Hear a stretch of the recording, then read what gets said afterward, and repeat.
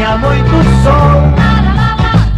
Meu avô na frente, minha avó lá atrás, o raio amigo, que legal. Ah, tá no ar? Ah, não furo de reportagem, estamos aqui na Praia da Enseada, em Ubatuba, numa entrevista exclusiva com o representante dos coliformes fecais. O que o senhor tem a dizer?